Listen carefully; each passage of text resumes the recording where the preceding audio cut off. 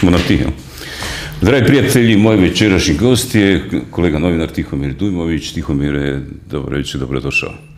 Dobro večer, hvala lijepo na pozivu. Evo ja govorim, moj, moj večerašnji gost je kolega novinar, međutim, zapravo tvoj kolega scenarist, dramaturg.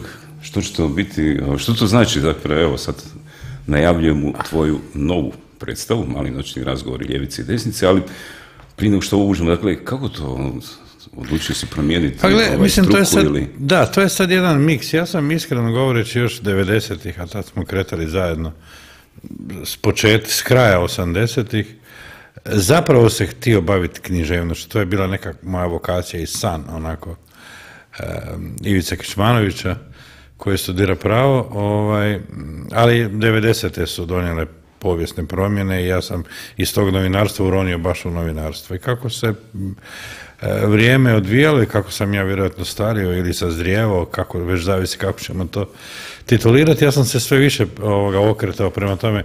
Čitav niz mojih kolumni zapravo nije novinarski, nego je onako na nekom na nekom rubu uvjetno govoreći književnosti. To je ona stara priča o novinarima koji su nerealizirani književnici ili idu u tom kontekstu. I onda je uslijedio čitam val zabrana u zadnjih deseta godina, što me još više odguralo u tom kontekstu, tako je nastala tako je nastala priča, odnosno predstava o tome tko je ubio Zvonka Bušića, koja je stvarno bila sjajna i prateća knjiga. Ja sam sad krenuo sa, sa tim modelom, mali noćni razgovori ljevice i desnice, po kojem se radi kazališna predstava, imam u planu još neke stvari, ne znam, možda, možda sam ostario, možda sam sazrio, zavisi kako Čekaj, ko to zove. pitanje što na Kažeš sazrio kao novinar, pa su e, kolumne, tekstovi su malo drugačiji, stilski dorađeni. Ali to, to je onako, kada prateći neke kolege koji dugo znani, koji su već prebacili recimo tri desetljeća u struci, zaista ovo se vidi ta jedna stilska nadgradnja. Što misliš, je li ta stilska nadgra- nadgradnja posljedica zapravo ne, a, nekih okolnosti zbog kojih se neke stvari ne mogu izravno reći, pa se na taj način kamufliraju, ili zapravo baš taj jedan osjećaj da, da čovjek kako se dugo bavi pisanjem, tim jednim žongliranjem riječi, da. dolazi do neke vještine. Pa evo ne, recimo, je, e, e, Tomislav Martić je uzeo e, po njemu moja četiri najemocionalnija teksta i sad za zimu sprema monodramu. Ja sad kad čitam te tekstove, oni nisu nastali kao izraz nečega što se ne može izgovoriti, oni su nastali zapravo kao izraz e, mog najdubljeg uvjerenja, više ne znam kako iz pri- prve, recimo, tekst o, o, o zločinima o dva razreda zaklanih e, srednjoškolaca na Gračanima, u Gračanima. Ja, ja nisam znao kako to ispričati, to, to ne možeš i- ispripovjedati novinarski, jer je zato potrebno tona emocija da, da doneseš dio toga. Ja sam imao taj izvješća patologa ispred sebe.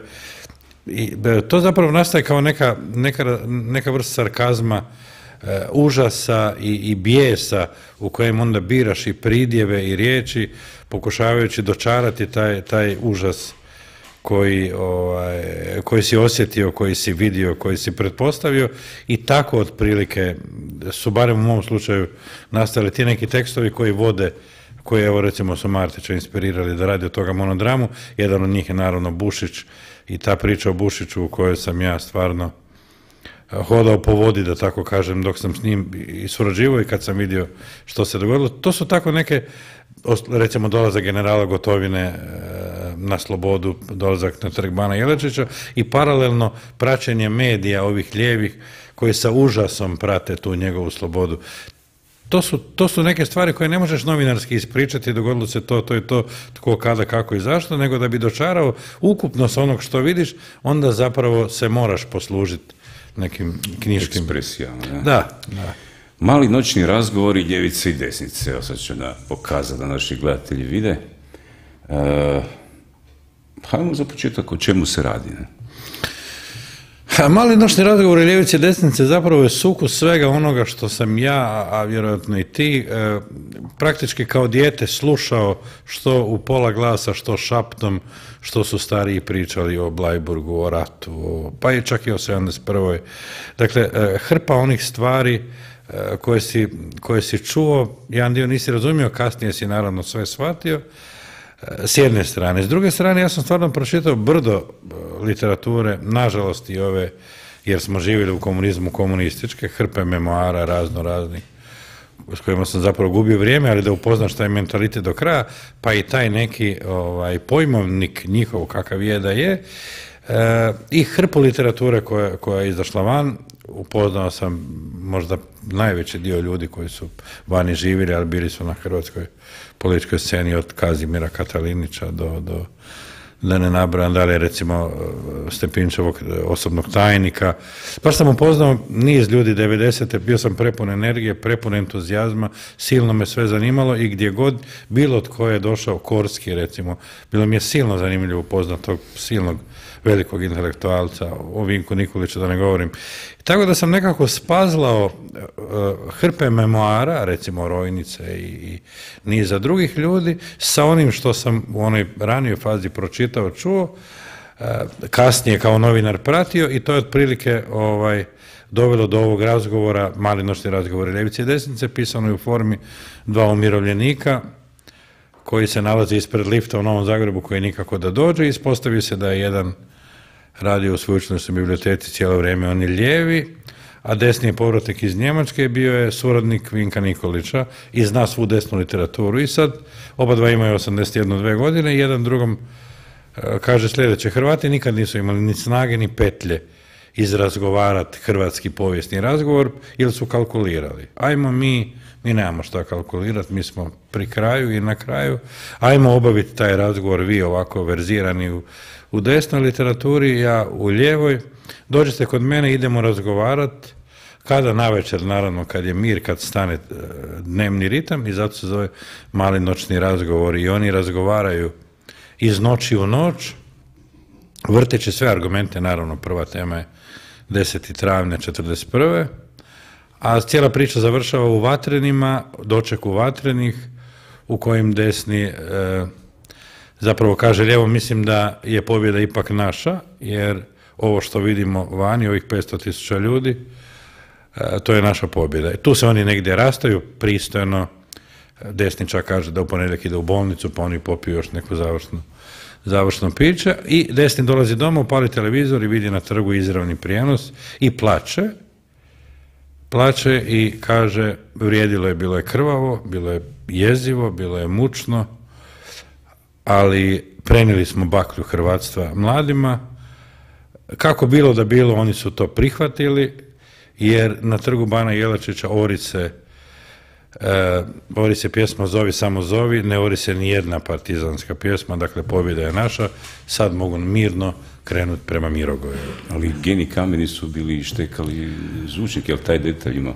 Uh, geni kameni su ištekani, e, nema taj detalj, zato što sam ja ovo vodio kao razgovor lijevog i desnog u nekoj punini i bilo je važno pokazati e, da je to ipak pobjeda te domoljubne opcije. Ovo je sabotaža, ali to ne umanjuje pobjedu. Znači, rekli bi happy end je. Happy end je na premijeri, premijera je u četvrtak u, u Centru za kulturu Trešnjevka, taj dio koji inače će se gledati na ekranu, koji je naravno dojmljiv, ali nema tu ekspresiju glazbe, na premijeri će Zaprašić Bojsi otpjevati igre Moja Hrvatska i otpjevat će neopisivo i to će biti zapravo ta, taj optimizam tog tipa i ja mislim da to je u ovom užasu ako imamo neki optimizam, pa čak već i mi u nekim našim sredovječnim godinama, onda je to činjenica da su ti mladi uz sav užas, svu muku i zabrane, zapravo stvarno tu baklju hrvatstva prihvatili. Što je to njima vidjet ćemo? Uopće bilo bi dobro čuti od njih što je za njih danas hrvatstvo. Ali su je prihvatili, nisu ovo prihvatili i, i slažem se sa desnim, pobjeda je naša i triumf je naš. Kako će biti, dragi Bog zna. Znači, to je zanimljivo da, da ovaj, nekako sam, zapravo nisam znao, mislim znao sam o čemu se radi, ali ovaj, ovaj završetak mi nisi ispričao, nekako sam pretpostavio da ćeš možda ostaviti to nekako nedefinirano ko što je trenutno situacija. Kad je, ali ti sam, dok sam pisao to, baš se to dogodilo. Ja sam to pisao tamo kad je bilo sve, i kad sam vidio tu masu i te ljude, stvarno sam zaključio 500 tisuća mladih u Zagrebu i ukupno 800 tisuća ljudi na cesti. Gle, to nisu ljudi koji znaju što je uh, offside ili što je corner To nisu ljudi, to nisu nogometaši i ti su ljudi izašli van zbog hrvatstva. Sad što je njima hrvatstvo o tom potom, ali to je e, apsolutni trijumf desne opcije. To je možda neka magma, ali e, pobjeda je naša. Dobro, evo recimo sad kad to usporediš ovo iskustvo sa iskustvom pripreme e, predstave tko je bio Zvonka Bušića tamo zapravo ostaje nešto u tom smislu ne, nedorečeno. Nedorečeno i nedefinirano, da, kao što je ta cijela priča zapravo nedorečena i, i nedefinirana. E, Zvonka Bušića je bilo zahtjevnije za raditi. Zvonka Bušića je bilo, kako bih rekao, dramatičnije za raditi. To je dramatičnost koja ne nestaje, ne prestaje, ne završava, nema happy end i nema, e, Bušić nosi jednu, jednu drugu poruku jednog kako bih rekao, jednog neopisivog idealiste. Dakle, Bušić bi trebao biti neki e, čovjek kojim se poklonite zbog njegovog idealizma. Dakle, on je s punom svješću žrtvovao svoju slobodu. Sad svako kad, kad sluša ove riječi mora se staviti u tu poziciju svoju slobodu za eventualnu slobodu svoje nacije. Ja ne znam, ja ne znam što više se može Hrvatskoj darovati od takvog jednog od, od takve jedne, jedne pozicije. I u tom smislu Bušić po meni ostaje um, nedosegnuti ideal, jedan, jedan ne, nevjerojatan lik. A, a Bušić i Đuli, mislim da je to nešto što sljedeći 500 godina će funkcionirati u hrvatskoj povijesti kao... Pa znaš, jer, e, evo, iz mog iskustva radići ove podcaste, tu prođe, prođu različiti ljudi sa sličnim ili različitim razmišljanjem, međutim, kod, kod redovito je ta, taj nekakav ono, zajednički nazivnik svih njih je ta jedna neizvjesnost budućnosti koja dolazi i koja je onako više nesigurna nego sigurna s obzirom na cijeli niz aktualnih ovaj, situacija i teško mi je e, teško da bi mogao izvući ovakav jedan lijepi optimizam kao što sad čujem od tebe. A ti za promjenu. Da, za promjenu. ja sam znaš, ono, zna koliko si dobro upućen u cijelu situaciju, dugi niz godina to ono, profesionalno pratiš. Pa odakle, dakle, crpiš taj optimizam koji ovako prenosiš Pa evo, bit ću ti iskren, gle, iz te slike, e, e, ti ako ovo analiziramo na, na, svakodnevno, mislim da smo previše u nekim analizama e, elite i tog poteza tih elite. Mislim da oni uopće ne znaju kako narod razmišlja i koje su njihove preferencije. Mislim da, da smo i mi malo otplahutali u tom kontekstu i kad vidiš tih 500 tisuća ljudi koji su žedni, eto onoj, onom užasu nije bilo vode, koji su gladni, nemaju gdje šta, ali koji e, vrište od sreće, jer je Hrvatska druga na svijetu, jer je, jer je to e, oda hrvatstvu ja nisam iz one suhoparne analize svih ovih godina razabrao da mi imamo 500 tisuća ljudi koji će izaći na ulicu u bilo kojem, to se nije dogodilo kad je stvarana Hrvatska država. 800 tisuća ljudi na ulici nije izašlo kad je Hrvatska proglasila neovisnost. Dakle, postoji neka zapretena energija u tom narodu koji je e, apsolutno zdrav, koji ima tu e, zdravu potku, zdravu kad kažem, mislim nacionalno, mislim ovoga osvjedočenog hrvatstva, ako hoćeš katoličanstva, svakako kršćanstva i to je, mislim da je to provalilo iz njih. Ja mislim da je to sociologe pomalo iznenadilo. Ti su se ljudi došli pokloniti Hrvatskoj i Hrvatstvu. Iz one suhoparne analize, lijevi, desni, ovaj, onaj, Milanović, Plenković ili ne znam, Račan, pa čak i Račan Tuđman, mi nikad ne bi razabrali da imaš, jer jedno je u ratu 500 tisuća ljudi, drugo je u miru, 25 godina iza tog rata, ti su ljudi stali kao jedan kličući Hrvatskoj i Hrvatstvo. I to je kod mene probudilo nadu kako god bilo. Sad ćemo vidjeti što će od njih politika napraviti. Vidjet ćemo kad krene ova manipulacija ko što gdje. Ali to je,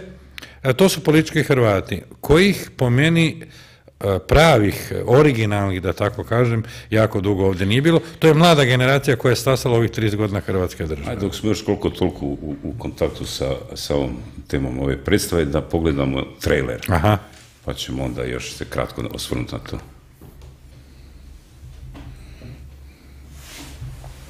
Da nije bilo Tita i Partizana, ovo bi bila velika Srbija, je to vama jasno? A ono što vidite sa zvonika Zagrebačke katedrale bila bi eventualno Hrvatska. Mada ste vi taj državni okvir preuzeli i ustrojili NDH na demokratskim principima, ona bi preživjela, ali vama Hrvatske države ne treba. Pa zbog čega hrvatski komunisti nisu stvorili Hrvatsku državu? Morate biti ludi ili politički nepismeni da idete stvarati državu sred ratnog kaosa, je li to vama jasno? A ne, ne, ne, ne, vi izlazite iz rata s deset hrvatskih korpusa i opet ne stvarate Hrvatsku državu. Opet Jugoslavija. To je romantizam 18. stoljeća, fetišizacija nacionalne države, je li to vama jasno? Pa gdje vi živite, dragi? Nije to nikakav romantizam 18. stoljeća. Hrvatski komunisti su srušili Hrvatsku državu, a napravili Jugoslaviju. Hrvatski komunisti, a ne Srbi. Pariška komuna je početak promjene svijeta, u kojem je 18 stoljeća prije vladao samo zakon jačega. Pariška komuna je početak kraja civilizacije. Tu ste se naučili krvoločnosti. A Blajburg? Blajburg je najveće stratište u cjelokupnoj hrvatskoj povijesti. A tu klaonicu potpisuju hrvatski komunisti sa svojim krvavim pečatom. Nema rata bez zločina, bez nepravdi i bez vjerstava, to ćemo se složiti barem načelno. To je osveta. Tko je prodao Dalmaciju? Pavelić ili Pašić i Trumbić? Student u prvom semestru zna da je Pavelić prodao Dalmaciju. Da, da, jer nikad nije imao prilike čuti sve povijesne argumente. Ali evo sada pune istine. Premijera u Centru za kulturu Trešnjevka 26. rujna uz ekskluzivni nastup Zaprešić Bojsa. Ulaznice možete nabaviti na blagajni Centra za kulturu Trešnjevka i na stranici ulaznice.hr. Mali noćni razgovori ljevice i desnice, najnovija kazališna predstava Tihomira Dujmovića.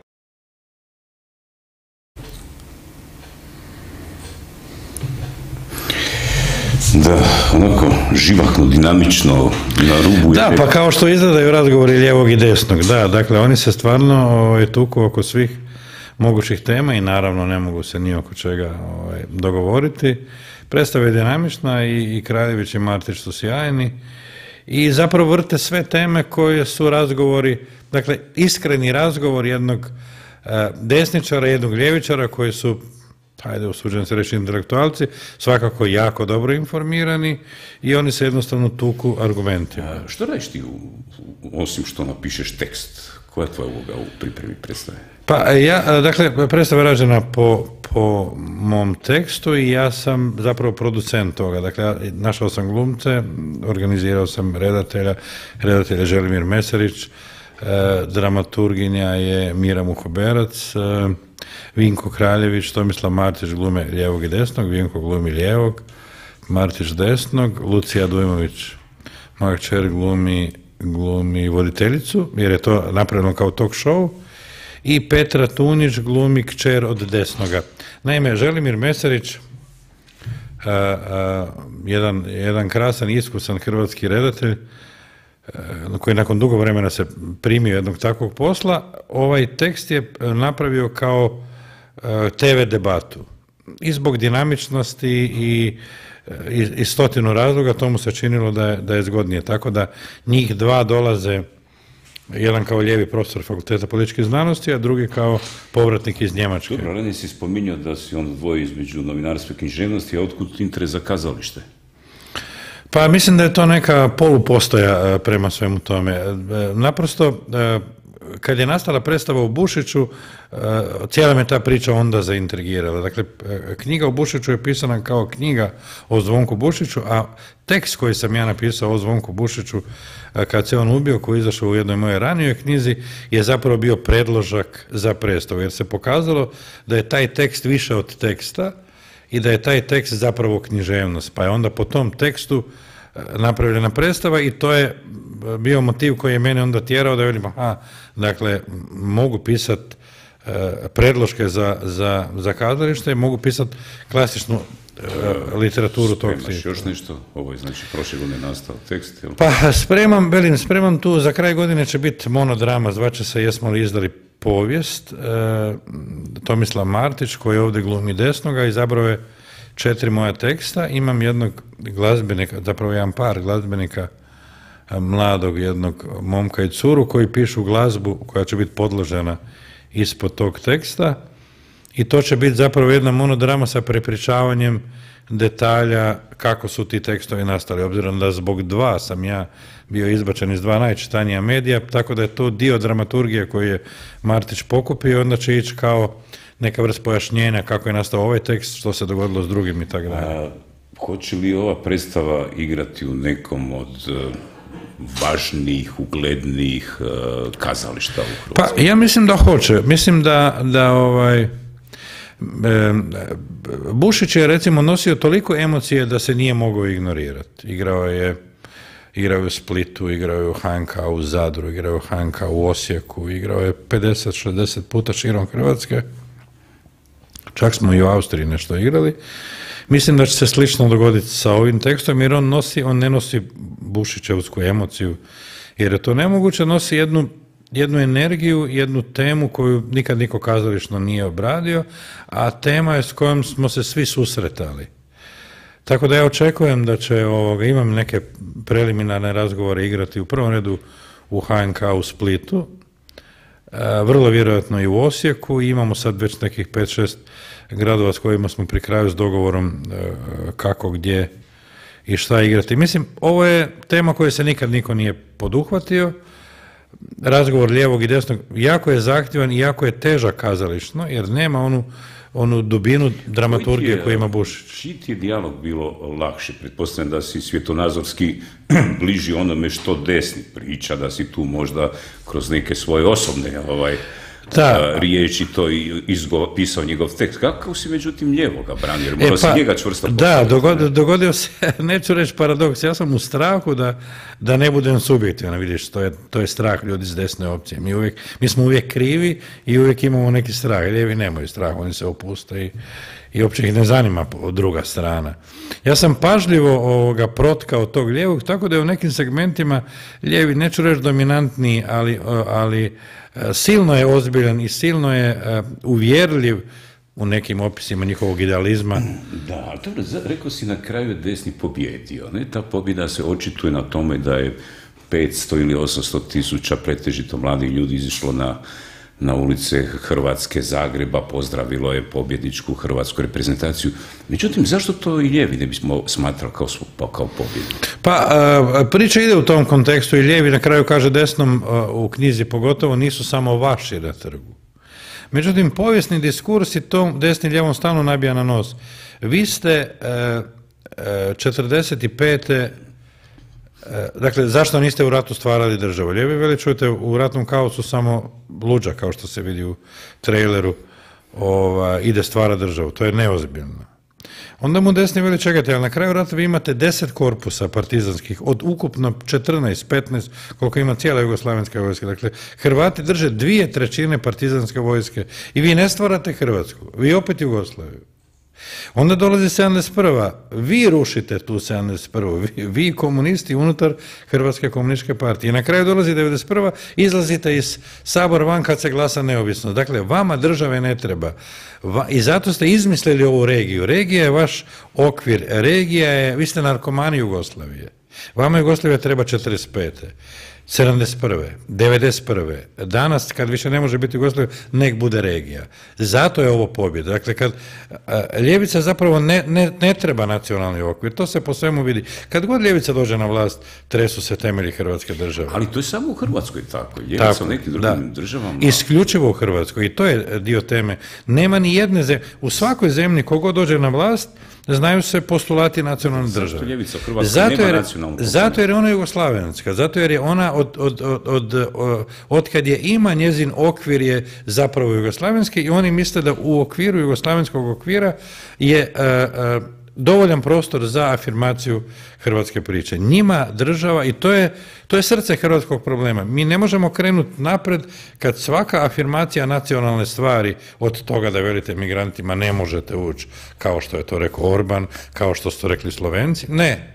E, vi bi stavili žicu, kad velite žicu, kao da ste rekli NDH jer žica je i tako da. Dakle, mi od tog straha i kompleksa države koja je bila pred 60-70 godina, ne možemo krenuti naprijed. Svaki put u ambiciji da afirmirate neku nacionalnu stvar, kako je drugi narodi afirmiraju, ljevica to proziva fašizmom.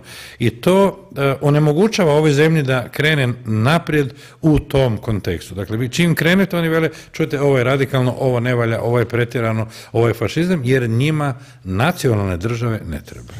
Dobro, znači ova država je za vrijeme vlade koju je predvodila Ljevica ušla u Europsku uniju, pa sad taj, je li ta Europska unija nekakav jamac da se Hrvatskoj ne može dogoditi nekakvo regionalno udruživanje sa... Nije, ne, prvo nije, drugo je, mislim, mi smo nominalno ušli, mi smo, zapravo je e, e, zapravo je Sanader i Kosorica taj put odvezla, a a ovaj, pa i Kosorica je potpisala u tom smislu ulazak u Europsku uniju.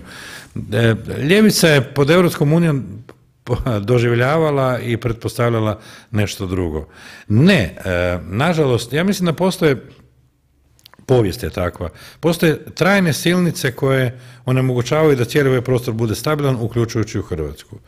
Dakle, e, ako vi Hrvatsku izdvojite i povežete sa recimo srednjom Europom, što ja mislim da je naš zapravo cilj i naše mjesto. Vi ste ovaj cijeli prostor prepustili utjecaju Srbije.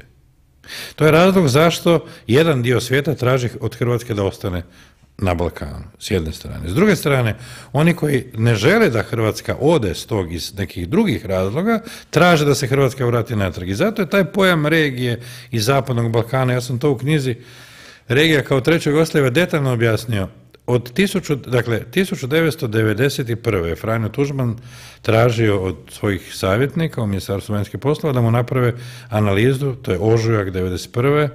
tko će priznati Hrvatsku u lipnju, već su pripreme za, za proglašenje neovisnosti bile pri kraju. Nakon mjeseci pol dana njemu je rečeno predsjedniče, nitko nije spreman priznat Hrvatsku državu. Dakle, svijet 1991. ne želi Hrvatsku državu i to treba jasno i glasno reći ta država nastaje nasuprot interesa međunarodne zajednice, zahvaljujući hrvatskom otporu, hrvatskoj krvi i, i tom fetakompliju vidi se da Srbi ne mogu osvojiti prostor koji im je dopušteno da osvoje iz perspektive politike međunarodne zajednice.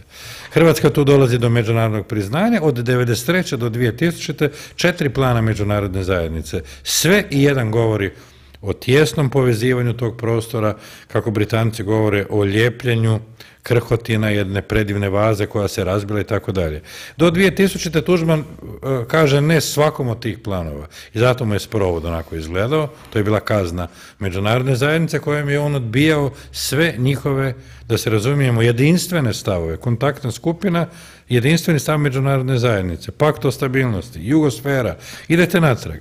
Nakon 3. siječnja ta izdaja je potpuna, Hrvatska ne da pristaje, nego postaje domaćin samita Zapadnog Balkana, sve potpisuje što treba i zapravo dopušta da e, ovoga ulazak međunarodnih planova i povratak Hrvatske na Balkan. I mi tu, i sad, vi to što možete vidjeti, mislim, od sporta, kulture, estrade, e, gospodarstva, e, Todorić je regionalni div, ali regionalni div, dakle u okviru regije, u sportu, pa vama Vama vaterpolisti Rijeke igraju vaterpolo u istoj lizi s vaterpolistima Šapca. Pa kad su Rijeka i Šabac bili regija? Samo u Jugoslaviji. Imate more takvih podataka, recimo 906. talijanski jedan političar koji je bio predstavnik za Zapadni Balkan predlaže zajednički proračun za područje Zapadnog Balkana. Dakle, svijet, taj prostor, vi ovdje morate imati vrhunsku elitu, mladog Tuđmana sa 50 e, fenomenalnih ljudi, vi morate od Hrvatske imati Izrael, da bi se ona u toj konstelaciji sa ovakvim okruženjem i s tom međunarodnom zajednicom izborila za ono što bi ona trebala reći, mi nemamo... Šta misliš da pod nekim okolnostima zaista dođe do nekakvog regionalnog udruživanja Hrvatske, Srbije, Bosne Hercegovine, šta za Makedonija, ono je kako god je to već zamišljeno, što misliš, jel bi, jel bi e, se situacija u Hrvatskoj događala na slični način i u sličnim okvirima kao 1945. Znači, eliminacija svega u Hrvatskoj što je za Ne, ne, ovih da. 20 i koliko, 9 ili koliko već godina. a, Ne bi, ne, ne. Mi bi tako završili da smo izgubili rad 91. i 92. uključujući tebe i mene. Ali ne, ovo se radi ispod e, radara, e, pitko, e, da se ne vidi, kao što su Britanci govorili za jugosferu, ne na silu. Samo ne na silu. Dakle, nek uđe to ljudima, dakle, zovite im, ne znam, Miroslava, ovoga, ili Lilić, kako se zove, ovog pjevača. Da, zovite nek pjeva, zovite, zovite pjevače, zovite glazbenite, zovite zvijezdu, vratite staro bilo dugme, tako vratite regiju. Ne, ne, ovo više sa čizmom, ne. Sa čizmom ne, dakle, to neće, dakle, nije moguća Jugoslavija kakva je bila ranije sa milicionarom ispred tvoje ili moje kuće. Ne, ovo je jedna sofisticirana priča u kojoj ti imaš istu glazbu, gotovo istu glazbu, sve hrvatske a, športske lige, ali sve, momčadskog sporta, sve su regionalne, osim velikog nogometa. Čak i juniorska nogometna liga regionalna. Pritom je regija uvijek Jugoslavija, minus Slovenija. Nema Mađara, Slovaka, Čeha, samo ovaj prostor.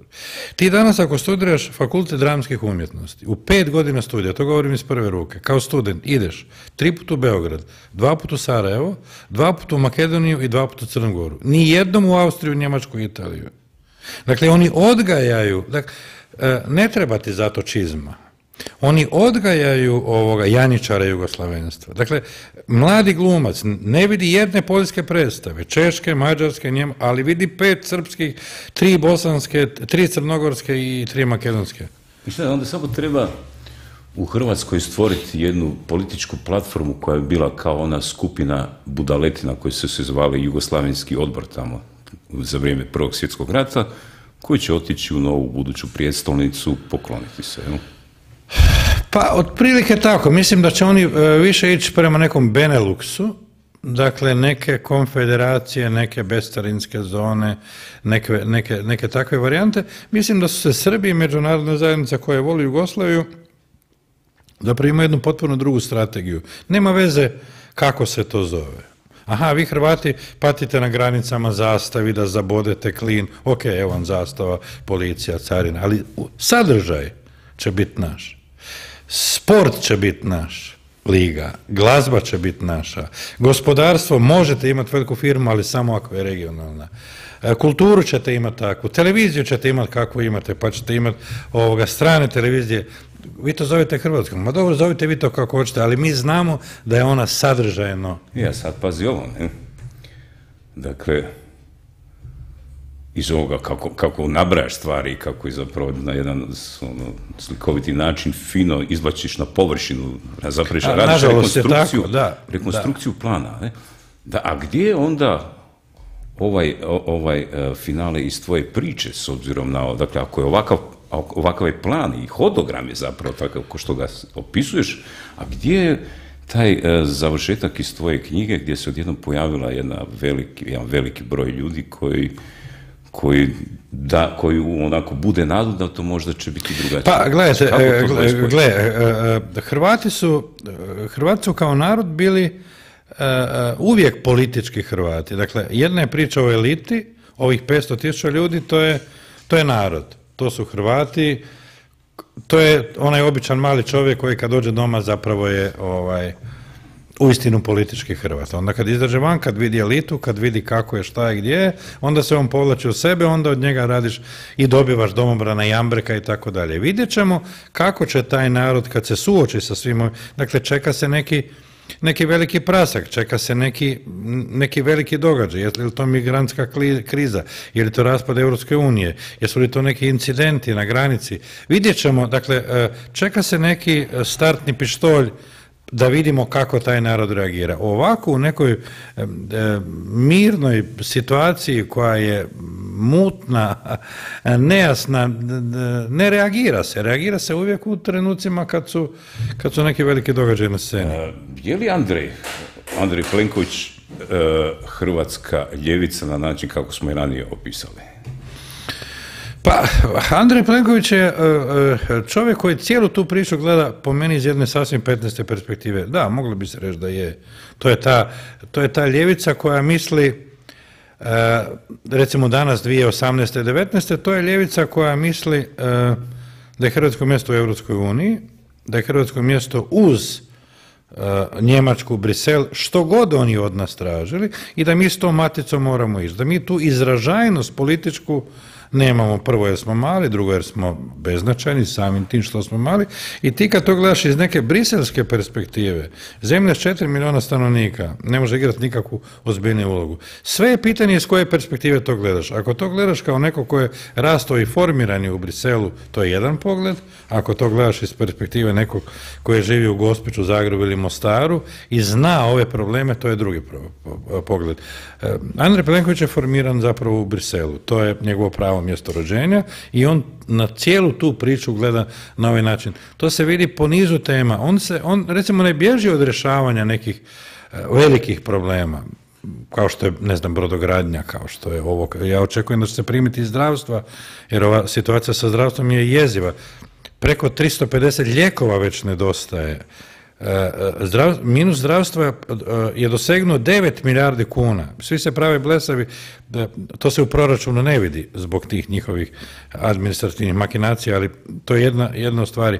Hoću reći, on ne bježi od nekih velikih fajtova, jer mu se čini da je to važno za ovaj narod, ali u suštini tu priču Hrvatske države i Hrvatstva on to ne razumije na onaj način na koji to Brisel niti razumije, niti prihvaća, niti ima bilo kakav emocionalni diskurs prema tome. E, kao naslov ovoga, naše, ove naše emisije stavio sam jedan tvoj citat koji glasi parni valjak Andreja Plenkovića melje sve ispred sebe. Sjećaš se toga? Da, da, kako ne, kako ne. Ja sam napisao more ovoga kritičnih tekstova. Pa da, i to se, to se pokazuje. Fakat melje sve ispred sebe. Pomeo je most, gotovo da ga je uništio. Pomeo je dobar dio desne scene u HDZ-u. E, stavio pod kontrolu najveći dio medija. E, to je sad jedan miks hrvatske političke ljevice, a pogotovo ono medijima, koja je jedva dočekala Plenkovića, koja je obožavala Sanadera, i s druge strane tog jednog briselskog autoriteta koji ispred sebe ovu cijelu priču meta. I fakat sve relacije koje su stajale njemu na putu, on je stvarno kao parni valjak. I dobro, ako njemu Brisel izda zapovjed, izvoli sa Hrvatskom, u ime Hrvatske počinje razgovore sa tim državama iz te regije i dogovori sa njima nekakvu asocijaciju, hoće li on taj, takvu, takvu neku zapovjed izvršiti? Pa e, ja mislim da, da tako daleko nećemo ići da se to baš tako doslovno neće dogoditi iz nekoliko razloga. Najprije, taj cijeli plan je moguć e, tek kad Srbija uđe u, dakle Hrvatska je član Europske unije, mi smo pred ulazom u Schengen, e, ne možete napraviti zajednicu sa zemljama koja uopće nije ušla u Europsku uniju i sa drugom koja je čak i, i u šengenskom režimu. Nije to sve skupa baš tako lako izvodljivo i neće to baš tako biti prezentno na taj način. Nego će ova struktura e, međunarodne politike iz Srbije i Beograda e, penetrirati ovaj prostor na način da od njega radi jugoslavensku magmu. To mi niko nije ne samo stao na put, niti pokazao interes da to zauzda od, od Račana, niko nakon 3. siječnja. Dakle, cijela ta priča, vidjet ćete u ovoj knjizi Regija kao treća Jugoslavija, najveći dio dokumenata o toj suradnji potpisan je za vrijeme Račanove vlade, ali dobar dio i za vrijeme Sanaderove vlade. Mislim, oni su kako bi vam rekao, oni su imali simpozij koji je trajao pet dana, a tema simpozija je bio ujednačavanje osnovnoškolskog, srednjoškolskog i visokoškolskog obrazovanja na području Zapadnog Balkana. Dakle, oni su krenuli od nule, ta integracija je trebala završiti sa zajedničkom kurikularnom reformom, zato je onu Jokićevu Crna Gora uzela, provukla kroz parlament i on vrijedi u Crnoj Gori. Oni su prerano reagirali, mislili su da je to, jer je cjelokupni plan, dakle, i kurikularna reforma je trebala biti zajednička. Prema tome, to se radi na, neki 15. način. Nije još trenutak, niti će on doći. Mislim da tu mora doći do nekih velikih tenzija u Europskoj uniji da se kaže otvoreno i brutalno idemo zajedno. Mislim da, pogotovo svako nestabilnom BiH, mislim da ta priča nije moguća. Evo, prisječki izbori kucaju lagano na vrata, a ti u svojim nekim osvrtima na ove naše aktualnosti često upozoravaš na Zorana Milanovića. Zašto? Pa ja uvijek kontra, znaš, ono, kad su svi ovoga, hvali Tuđmana, ja sam ga koliko, koliko sam mislio da treba kritizirati, jer mi se činilo da je onda to ima smisla. Ja ga danas hvalim kad stvarno ga treba hvaliti, kad se pokazuje i kad čovjeka nema i kad ne može odgovoriti, kad nikakve snage nema. E, tako je bilo s Račanom i sa mnom, tako je bilo i sa Sanaderom, zato sam skupio 13 otkaza. Tako i sad, zato i sad ne želim ovoga, e, kako bi rekao, utjecati nekoj matici koja je masa, u masi je toplo i zgodno i osjećaš se zaštićenim. Dakle, e, imamo Kolinu Grabar-Kitarović, Miroslava Škoru i imamo Zorana Milanovića. Ja sam, ja sam silno cijenio Kolinu Grabar-Kitarović, među prvima sam pisao najkritičnije tekstove o njezinim fatalnim greškama i stvarno mislim da je povukla nevjerojatne neke poteze koji su apsolutno nebranjivi. E, kad se pojavi Miroslav Škoro, oni koji mene danas kritiziraju nisu slova progovorili od recimo petog mjeseca i šestog kad je Škoro kretao. Ja sam od onda odgovorio da on čovjek nade, da je energija koju donosi, da je smjer koji donosi apsolutno potreban i poželjan i da je to emocija koju ja pozdravljam i za koje ja stojim. Ja i danas mislim isto. Međutim, radi se o sljedećem. Ova histerija protiv Koline Grabar-Kitarović, ova sad već otvorena mržnja, ovaj razgovor ispod svake razine, mislim svaki razgovor mora imati neku razinu, ova tendencija da se nju proglasi e, glupačom, alkoholičarkom, e, e, mutavom, blesavom, glupom, prvo ispod svake razine, a drugo, ta teza loži vatru kod birača Miroslava Škore, koji će reći sljedeće, ako on ne uđe u drugi krug, ja u drugom krugu neću izaći. E to je put da Zoran Milanović stavi lentu predsjedničkog oko vrata. I oni koji danas se tako ponašaju prema Kolindi, sutra će biti odgovorni ako Milanović bude predsjednik države. Dakle, ljudi glasajte za koga hoćete, govorimo o desnici. Ako hoćete glasati za Kolindu Grabar-Kitarović, mislite da unatoč svim greškama ona zasluži dalje, to je legitimno. Mislite li da je Škoro pravo rješenje? Ja to potpuno razumijem, podržavam i stojim na toj strani. Ali ako ćete širiti histeriju protiv Kolinde, a Škoro ne uđe u drugi krug, stvorit će se takva mržnja prema Kolindi Grabar-Kitarović da birači Škorini neće u drugom krugu izaći za nju, ona ne može bez tih glasova pobijediti Milanovića, ja bi volio samo da to nije plan. Pa dobro, kad bi nabrojao dobre i loše strane ta tri kandidata, evo što bi to bilo recimo za Milanovića, Kolindu. Ne mogu za Milanovića izabrati ni jednu dobru stvar. Ja neću nikad zaboraviti, i, to sam pratio detaljno i neću nikad tu sliku zaboraviti, imam u glavi sliku tog, tog policajca, jedan abolirani Martićevac dio Hrvatske specijalne policije, mlati invalide stopostotne na trgu Svetog Marka. Mislim, čak i da nije zadužio državu za 10 milijardi eura kao što je zadužio Milanović, čak da nas nije osramotio priče Lex Perković, ta činjenica da ti pošalješ specijalce na, na jadne invalide u koalicijama, mislim, to ispod svake razine je za razgovarati je taj čovjek zasjest za stol a kamoli za biti predsjednik države. Tu je ono u Vukovaru, onaj Saša O Vukovaru da ne govorim, o, o, o, o čeriličnim pločama. Mislim milijardu stvari. Ne mogu zamisliti da čovjek sa takvom prošlošću može postati predsjednik države. Jednostavno ne mogu zamisliti. Kolinda i Škoro. E, Škoro ima jednu sjajnu energiju. Škoro je baš čovjek nade. Škoro je Hrvat u najboljem smislu riječi, izvrstan biznismen, sjajan čovjek, ja, mi smo susjedi pa ga znam pa ga poznam, dakle ne, ne, mogu jednu e, krivu stvar e, e, reći o njemu. Mane Škorin, Škoro nema iskustva, ono malo što je imao u odnosu na Kolindu, naime. Ono malo iskustva koliko je imao, to, to nije usporedivo s njom. On u tom establishmentu nema one ulaze koje Kolinda ima to su recimo, nema iskustva, to je možda e, ovoga, e, najveća stvar. Njegove, e, prijedlog njegovih ustavnih promjena je zapravo izvrstan, to je možda najjača stvar od njega jer on time pokazuje da želi mijenjati tu poziciju. Predsjednik države je danas stvarno fikus i on je potpuno pravo, ta analiza da predsjednik stranke zapravo vodi cijelu priču, pa onda vodi parlament i da je to potpuno paraliziralo parlamentarni život u Hrvatskoj, on je potpuno pravo.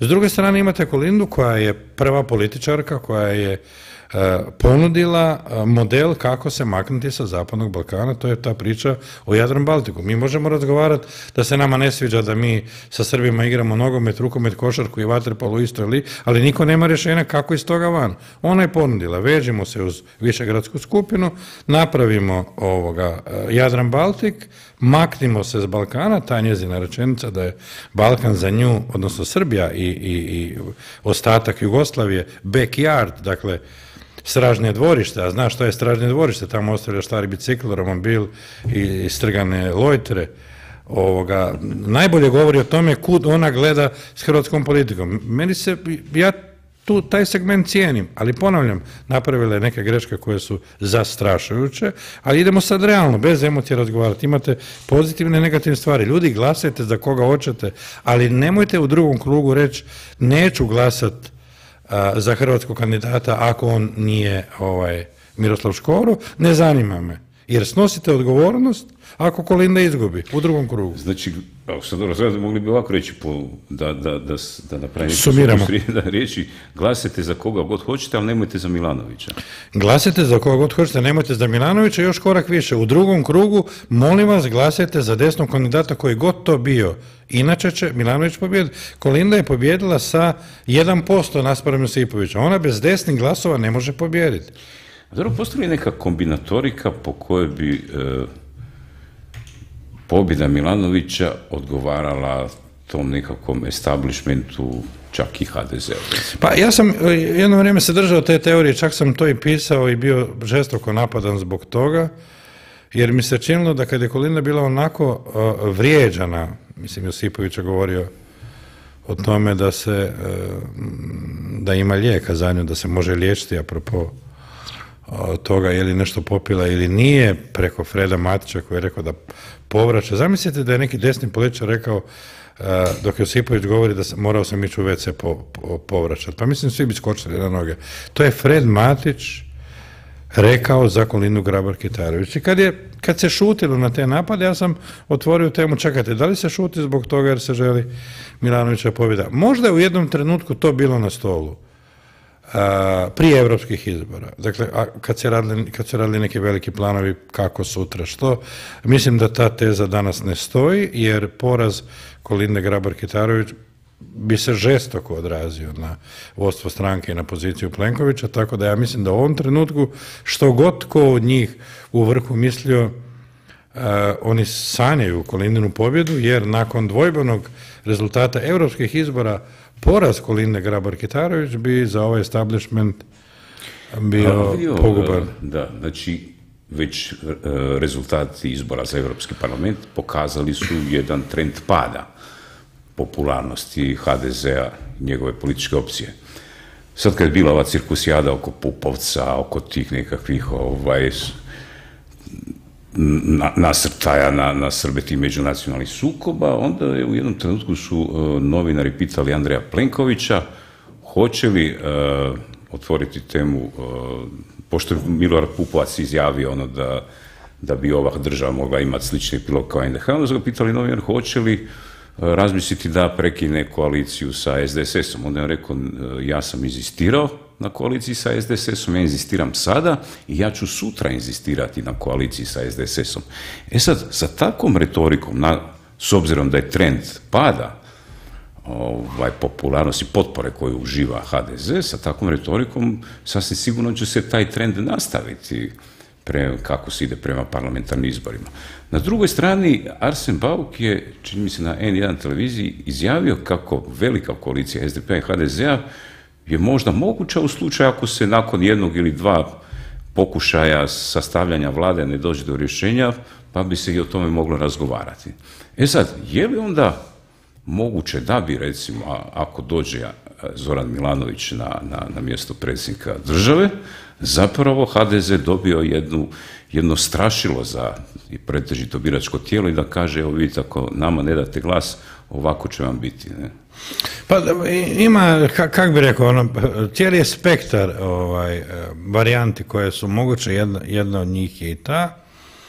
Ja mislim da ovaj plan, ja sam čuo naravno i za tu kombinaciju, ovaj plan može e, jednostavno sa stola pomaknuti velika desna koalicija i respektabilan broj glasova. Mislim da se na tome sad radi. Dakle, ako ova koalicija suverenista kojim je sad prišao Hasanbegović, e, na neki način i most, a očekuje se da će gore na vrhu biti Škoro ako ne bude predsjednik države, mislim da je to jedna snaga koja po mojoj procjeni može a dosegnuti do 20, možda i 25 mandata u Saboru. U tom trenutku, kad, dakle, kad vi stanete ispred nekog sa tom snagom, vi ste neobilazan, nezaobilazan faktor. Vi ne možete nakon toga kao HDZ po meni koalirati sa, sa, sa SDP-om. Danas ova priča oko SDSS funkcionira, pardon, funkcionira zato jer eh, SDSS ima tri zastupnika Bandićevi žetončići su nesigurni. Mislim da se sad vi oslonite na, na, na ovu bivšu tajnicu Ivice Račana kao neko ko će sigurno glasati za vas ili za Ronka koji je prastari e, e, leninistički kadar iz SDP-a, to baš ne djeluje uvjerljivo. Dakle, ako vi, ako politička scena bude tako izgledala nakon izbora da imate lijevi blok, a Bernardić ide u tom smjeru, desni blok suverenisti Hasanbegović i ova ekipa i HDZ, onda ćete vi potaknut e, desnu struju u HDZ-u da inzistira na koaliciji s ovima.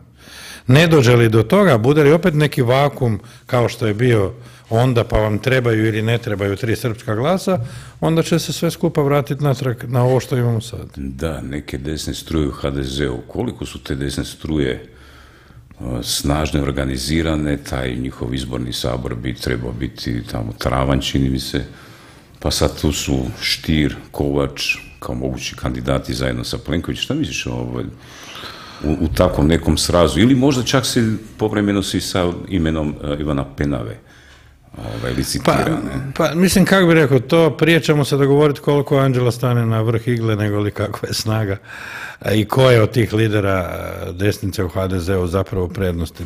Postoji Kovač, postoji Štir, to su, ovoga, i Karamarko se tu i tamo negdje spominje, pa čak i s onom jednom njegovom ovoga, izjavom koja mi se čini malo neoprezna, ali i ona je na stolu. u ovom trenutku meni se čini da kad je rekao da ako se aktivira e, da će pobijediti, e, da u tom smjeru, da mu to nije strano i tako dalje i tako dalje. Ja mislim, e, tek ćemo tad znati što je desno krilo HDZ-a. Tek ćemo tad vidjeti koliko ljudi glasa za koga, a i nakon toga će ta priča biti zatvorena. Onda će biti jasno, imat ćete na stolu pregled kao rengen rengenska slika HDZ-a će se dogoditi na, na unutar stranačkim izborima. Treba vidjeti taj sistem glasovanja kako je novim statutom predviđeno, što je sa starim članovima, novima, mogu li ja, odnosno vi, glasati ako ste član HDZ-a, niste platili članarinu, e, to je posebna tema o kojoj bi trebalo posebno voditi računa. I mislim da nije nevažna, jer e, nikad nije nevažno na ovim prostorima znate kako se kaže, nije važno kako se glasa, nego kako se broji. Ovaj, meni se čini da od, od svih tih e, protokandidata najveću težinu e, kao suparnik Plenkovića ima, ima Štir. Iako mi se čini da Kovač najviše radi. Mislim da i te njegove izjave jako je oprezan, možda preoprezan za ovaj trenutak, govorimo o Štiru, govorimo o Kovaču, a Štir ima jednu vanjsko-političku dubinu, jednu, jednu mudrost, jednu ambiciju da zapravo bude neka vrsta ideologa, to se po svemu vidi kad se čitaju pažljivo njegovi intervju i ako hoćete sa najvećom međunarodnom podrškom, obzirom da je dobar dio da, karijere proveo vani. Da, ta se podrška počela uočavati da da bi Štir mogao biti onaj... Znaš, ono kad se govori priprema se nekoga, ne? Tako je bilo, tako je bilo svoje vremena i za Sanadera, kad da. je onaj, onaj sedmi opći sabor se osjetila, da dolazili su neki signali preko nekih kolumnista u koji su i u Hrvatskoj objavljivali tekstove kako bi trebalo takvu osobu izabrati, ne imenom i prezinom. Pa evo baš njega, ne baš tako oblikovano. Da, pa je tako bilo ono kad je Karamarko došao ovaj, do svoje neke gornje točke koju je u nekim okolnostima mogao, pa se taj Plenković pojavio. Tako se sad zaštira. Međutim, reci, uh, penava. Ne, prošli tjedan je jedan okrugli stol održan o, dakle, o situaciji u Vukovaru, o ovim čiriličnim pločama, o, o, zapravo ponovljenom suđenju Marijanu Živkoviću, sad se ponovo čovjeka ide suditi za, za tu razbijenu ploču od prije šest godina, ako se ne varam, stravična stvar, ne, dakle da ono, zapravo dolazimo do situacije da glava onog Darka Pajčića Stravan, ne, mislim jezivo, ne otvara se za to nikakav, evo za ploču koja vrijedi za 500 kuna razvlači se da 30 ljudi je tu ono, kroz razne ove, procese prošlo. Ne? I jedna, jedan, jedan od, eh, iz publika su bila pitanja, jedna gospođa je pitala Penavu, dobro šta bi kao, evo sada se bliži godinu dana nakon onog prosvjeda u Vukovaru koji je trebao biti nekakav protest jer se ne procesuiraju odgovorni za ratne zločine, silovanja u koji je to danas u Vukovaru hode žive. Uh, je li se nešto u tih godinu dana promijenilo? Je li imalo smisla taj proces, taj prosvjed održati? I da li namjeravate ponovo prosvjed ovaj, sličnih godinu dana kasnije održati. I, onda, I tu se Penava zapravo onako, možda mu izletilo malo, ne? jer i sam nije znao šta odgovoriti, jer zapravo rekao je da istina, ništa se nije dogodilo, ali zato što se ne može ništa dogoditi, jedino da se digne revolucija, tako je rekao u jednom trenutku. Ne? I šta misliš, zapravo je tu pokazao da, da, ima tu jednu, jednu, onako, jednu, jednu razinu slobode i hrabrosti u političkom promišljanju. Dakle, nema nemogućih situacija. Ako ta duboka država koja je u Hrvatskoj, tako, a pogotovo kad su ovakve neke koalicijske kombinacije, ništa se zapravo ne može nekim legalnim proceduralnim ovaj, putem uh, promijeniti. Ne? Promijeniti, promijeniti. zapravo Jedino to, ako, ako se krene, dakle, na jedan možda, ne mora to sad to biti ono kuka, motika, puška i šuma, nego onako možda neki prosvjedima sa malo nekakvim ultimativnim porukama, građanski neposluh, blokade. Znaš, ako mogu ovi tamo seljaci preko sindikata blokirati ceste, zašto ne bi moglo doći, ne znam, 50-100 tisuća ljudi i zablokirati grad? Ne? Evo, sad, dok nešto ne napravite, ne ćemo se sa ulice. Ne? Dakle, to je sve u okviru nekih eh, metoda koje dozvoljava ovaj jedan demokratski apsolutno, da, da. Ne? I sad, dakle, pojavlja se tu jedan penava koji u jednom trenutku ispaljuje nešto što može podrazumijevati takvu neku metodu. Šta misliš, dobro, mladi je čovjek, ali pokazuje već tu jednu razinu, je nakon toga ušao nekakve pregovore, razgovore sa Plenkovićem, koliko je to bio neki kompromis koji je bio nužan da bi se moglo nastaviti i tako dalje. Možeš li malo onako ocijeniti? Da, Penava je, e, odlična ti analiza. Penava je jedan od rijetkih političara koji je stvarno iskočio. Kad pogledaš političare u zadnjih desetak, 15 godina, rijetko ko je iskočio na način na koji on iskočio. Mislim da je Penava destinirani sutrašnji župan. Galiću je ovo, koliko ja znam, zadnji mandat, e, izbori su za par godina i tako dalje. Penava je nadrasto Vukovar, Penava je silno e, užasnut, kako bih rekao, klistriran situacijom odnosa Zagreba prema Vukovaru, ne toliko političkog Zagreba. Vukovar je mjesto koje se u najvećoj mjeri obnovilo, obnavlja. Nedavno sam bio tamo baš s promocijom knjige, baš kad je Penava bio u Zagrebu na ovoj tribini, pa sam vidio i ta luka se gradi. Dakle, taj grad je stvarno, usuđujem se reći kao rijetko koji u Slavoniji u jednoj ekspanziji gradnje. Hvala Bogu da je tako. Dakle, e, prigovori Vukovara Zagrebu ne idu na po onoj staroj matrici joj Zagreb u nas ne ulaže, tipa nemamo bolnicu kao što Pula vrti priču ili ne znam Rijeka ili ko ovaj, nego ne razumijete našu situaciju. Njemu je neizdrživo. Dakle, vi tamo imate, zahvaljujući zakonu o aboliciji, e, ljude za koje svi znaju da su sudjelovali u agresiji, znaju da su sudjelovali u nekim zločinima, tih dokaza nema, pa zato nisu optužnice dignute. Pa onda ona poznata jeziva istina o, o, o kojoj je Julie Bush napisala sjajnu knjigu, o silovanim vukovarkama i silovateljima koji se šetaju po tom gradu, i vi zapravo u Vukovaru vidite tu ružnu i tužnu sliku e, Hrvatske, onakve kakva je ona e, ovoga u, u tom razdoblju mirne reintegracije nastala. Sad vi to možete gledati kao neki fenomen dok niste gradonačelnik tog grada. Kad svaki dan gledate te muke, te laži, te dvoličnosti, e, te zločince, te silovatelje i njihove žrtve, mislim da to nakon nekog vremena poludite i podivljate i to je izraz tog penavinog ovoga nezadovoljstva, on više ne zna kako kriknuti, tu se ne, onda se njega pozove na razgovor, pa u čemu je problem Vukovara? Ma ne radi se o problemu Vukovara, radi se da imate tisuće ljudi koji su pucali po tom gradu, koji su ubijali, koji su, dajte primite se tog posta, dajte elementarnu pravdu donesete u taj grad. Mislim da to njemu diže tlak, obzirom da je narod potpuno na njegovoj strani, obzirom da on jedini zapravo reprezentira taj stvarno jadan slavonski narod, ne samo Vukovarce, on postaje ovoga slavonska legenda i u tom smislu mislim da je karijera e, pred Penavom, e, mislim da je on nadrasto funkciju gradonačelnika Vukovara i da će u ovom raspletu u svakom kontekstu igrati e, jako veliku ulogu i naravno bit će poželjan svim pretendentima na mjesto, na mjesto šefa HDZ-a. Rekao si da ti Miroslav Škoro susjeda, eto, znate se, razgovarate. Pa reci, dakle, on je njegov prvi video gdje on najavio da, da mu je namjera, ako postane predsjednik države, sazvati referendume gdje bi zatražio veće ovlasti i šta je još ono rekao. Ali recimo, to je najznačajniji dio te, to, toga što je rekao. Je li, je li to ideja Miroslava Škore je li on kapacitet za... Jer to je zaista jedna odlična ideja. Ne? Je li to njegova ideja ili, ili je netko sa njime to ovaj, radio? Da, ono, da, često se priča netko, tko stoji za Miroslava Škore, ko su ti ljudi, pa spominju se neka imena koja se tu cirkuliraju i tako dalje.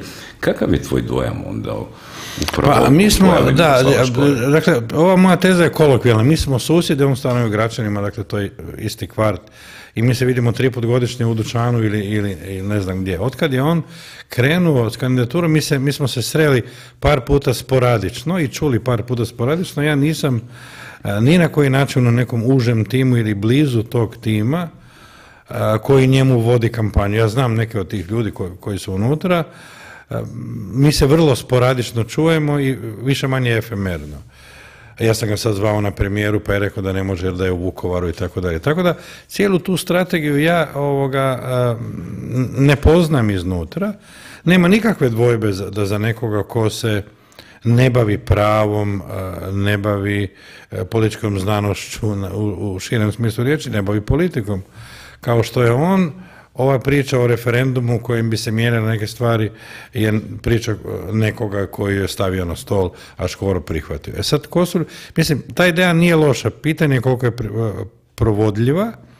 Ono što je meni prihvatljivo iz njegovih e, tih e, e, novih ponuda, da tako kažem, Hrvatima, je priča o promjeni ovlasti predsjednika, zato što ako mi ništa ne promijenimo, vi ćete stvarno u predsjedniku vladajuće stranke imati zapravo i predsjednika parlamenta i šefa kluba zastupnika, to je čovjek koji kadrovira cijelom državom. I ako nemate neki balans, ako nemate neki omjer eh, eh, snage između neposredno biranog, dakle predsjednika države, dakle on ima ovaj legitimitet gotovo kao nitko i predsjednika vladajuće stranke koji kadrovira cijelom državom, mislim da, da ćemo utonuti u, u ovo u što smo ušli sad, pa ljudi sa par sto glasova nam vode ili parlament ili najvažnije resore. Dakle, to, to je čisto izigravanje volje birača. U tom smislu ta škorina ideja je ideja koju bi trebalo staviti na papir i ne samo staviti na papir, nego jedan dio koliko je moguće provesti, da to ne ispadne sad kao priča ovoga sa jednog okruglog stola, nego kao stvarno ambiciju da se, da se stvar se može, može po referendumskim referendum je najviše zakonodavno tijelo. Tako je, dakle, iznad ustava je referendum, ne, dakle on može... I to, to vlast ne može ne respektirati. Vidjeli ste sad sa umirovljenicima, 700 tisuća ljudi, kad izađe i kad ih ne zbraja Lovro Kuščević, onda, onda naravno vlada veli, ok, izvolite, ne. Ali vlast može sve, čini mi se. Ne? Vlast može sve. To je tako. 65 to nije toliko igralo, nije toliko bilo da, važno, da, ovaj, da. a ovo tamo promjena izbornog Izborni zakon je ključna stvar. Promjenom izbornog zakona mi mijenjate iz temelja Hrvatsku, apsolutno iz temelja. Evo nekoliko pitanja naših gledatelja, evo jedan sa presumpcijom. Zašto podržavate Kolindu, iako znate da je glas za nju, glas za Plenkovićev HDZ? Evo, to je, to je To je ovoga... refleksija sam. Da, da, to je baš, e, dakle, ja ne podržavam e, Kolindu, ja sam, ja sam ponavljam, govorio kad, kad su drugi šutjeli o tome da mislim da je Škoro najbolje rješenje za, za predsjednika države. Ja govorim o jednoj drugoj stvari, da oni koji, ako Kolinda završi u drugom krugu, i ako ovaj gospodin ili gospođa ne izađe u taj drugi krug, da će snositi dio odgovornosti što će čovjek koji je aboliranog Martićevca poslao da pendrekom lupa po glavi Đuru Glogoškom doći na Pantovčak. Ja govorim dakle o strahu. Dakle, Škoro da, Škoro je apsolutno najbolje rješenje u ovom trenutku. Ali ne uđe li u drugi krug, oni koji su glasali za njega nemaju pravo ostati doma, jer će snositi odgovornost za sigurnu Milanovićevu pobjedu. Ja dakle samo govorim o tome, ljudi nemojte pogriješiti, birajte koga hoćete, ali birajte hrvatsku opciju kako god je vi gradirali. Milanović nije hrvatska opcija, po meni. Dakle, nemojte zbog toga, jer vam se neko više ili manje sviđa, dopustiti jedan plan koji je možda neko i osmislio, da uspije, jer ćete dobiti čovjeka koji je zadužio državu 10 milijardi eura, stajao iza Alex Perkovića, stajao iza e, čiriličnih ploča u Vukovaru, jel to hoćete? Ako ne izađete u drugi krug, ako Linda je u drugom krugu, ne izlaskom u taj drugi krug, vi zapravo gurate Milanovića na Pandovčak. To nije glasanje za Kolinu, to je zdravi razum. Čuj, e, ima još jedna zanimljiva pojava u ovom, dakle, ciklusu izbora za šefa države. E, Pardon, evo samo da odgovorim, ova teza e, glas za Kolinu je glas za Milanović, e, glas za Plenkovića, koja može stajati. Ne izlazak u drugom krugu je glas za Milanovića. Dakle, onaj ko ne izađe, nek se suoči s tom činjenicom. Ja samo o tome govorim. Ja samo želim izbjeći najgore zlo i pokušavam, ali znate kako je, kad krene neka hajka i kad svi vrte jedan film, ako postoji neko sa strane koji veli čekajte ljudi, ajmo malo stat na loptu, taj obično strada, stampedo ga podere. To se meni upravo sad događa. E, dakle, i Škoro i Milanović i Kolinda su se vrte između 20 i 30 posto, ne mislim, Kolinda 29, Da. 25, Škoro... Ako su ankete 21. točne, Da, by the way, sad dva, tri gore to ide, tu su neki trendovi koji su možda važniji i zanimljiviji od, od trenutnog rezultata, međutim, tu je cijelo vrijeme uz njih, da, a dakle, oni se tr- trgaju, stalno trče po nekim ovaj, otvaranjima centara, brodogradilišta, sajmišta, ovo, ne? A ima jedan lik koji se zove Mislav Kolakušić, koji ništa ne radi već mjesecima i on je stalno na 8,6%, ne? Kako to? Pa zato što Mislav Kolakšić, mislim, e, Mislav Kolakšić je čovjek koji je uništio sve anketare, sve ankete koje su izlazile i koji, koji bi trebao presuditi, da tako kažem, svim firmama koje se bave anketama, jer nitko živ nije predvidio da će čovjek dobiti 9,6% čini mi se glasova. Ta činjenica da ne postoji ni jedna firma koja se bavi ovoga anketama, koja nije pogodila ni približno snagu Mislava Kolakušića, govori da su te sve ankete ovoga, ma neću reći naručene, ali u svakom slučaju da treba voditi računa ko ih plaća i kako ih plaća. Dakle, zadnja anketa nije pogodila, ali e, baš sam gledao recimo na, na N1. Oni su apsolutno sve fulali. Niko nije pogodio, ne samo oni, niko nije pogodio uspjeh Mislava Kolakušića. Nitko nije pogodio da Most neće ući u, u ovaj. Nitko nije pogodio uspjeh suverenista. I nitko nije pogodio, mislim, osim ovoga dva puta jedan, a, a, rezultat HDZ-a. Dakle, sve su ankete govorile šest ili pet, HDZ dobio četiri. Sad, ja uvijek plediram na to da se e, zakonom zabrane ankete, jer one služe, one su zapravo u funkciji e, političkih stranaka, odnosno političkih lidera, u ovom slučaju e, kandidata, i da se uvede kao u Americi, gdje imate jednu, jednu veliku Galupov institut koji je apsolutno najdominantniji, najvjerodostojniji i što oni kažu, tako otprilike je. Dakle, da stvari ima neki znanstveni kontekst, a ne da vi i ja i, i dva prijatelja oformi, o- osnovimo firmu i počnemo se baviti s tim i telefonom zovemo i to se zove anketa. To je, to, to je Zapadni Balkan, to nije anketa.